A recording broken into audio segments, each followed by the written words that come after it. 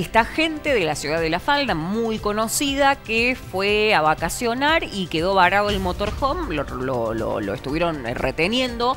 Juan Alberto, el dueño del motorhome, una herencia de su papá, eh, fue eh, el que se quedó, porque era un grupo de amigos de la ciudad de La Falda. Bueno, los chicos algunos se vinieron a seguir con su vida, con sus actividades, con sus trabajos, pero Juan Alberto se quedó hasta último momento para tratar de recuperar lo suyo, ¿no? Qué paradoja, parece increíble traerse lo suyo, algo que le pertenece. Eh, Dani Cabdevila hizo una excelente cobertura tratando de comunicarse con Juan Alberto, eh, a pesar de que la señal no era muy buena y, bueno, había que mover un montón de contactos para, para poder hablar con Juan Alberto. Dani habló con la mamá, presentó la noticia, realmente hizo un seguimiento muy profesional, como siempre, eh, Dani, de lo que pasó.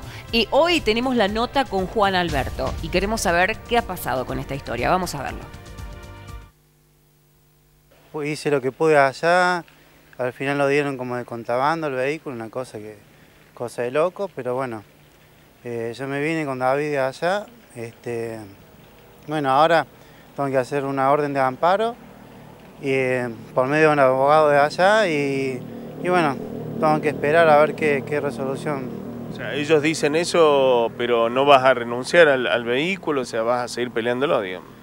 Y la única forma es, bueno, ahora por medio legal, hacer esta orden de amparo. Tengo un par de días, si no la hago ya directamente lo pierdo. Eh, y bueno, esto pasa ya a una instancia ya judicial y si ellos dicen que, que no, bueno, ya directamente lo pierdo, o sea, no me queda otra salida.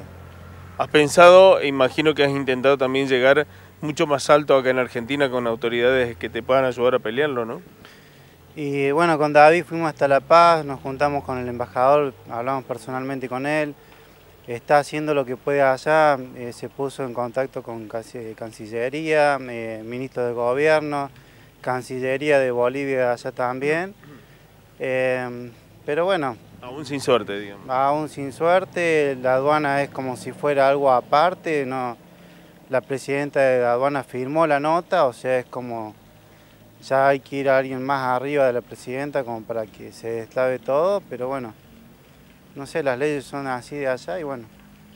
Sabemos con toda la documentación que se planteó, lo que vos nos contaste y demás, de que la razón la tienen ustedes todo el tiempo, tienen toda la documentación, tenés toda la papelería al día, o sea que no hay motivo para que te retengan el vehículo. No, la verdad que, o sea, tengo hasta la factura de compra del vehículo, que en su momento la compró mi viejo, eh, está el nombre mío el vehículo, o sea, tengo el título firmado en nombre mío, eh, seguro internacional, o sea, tiene todos los papeles al día.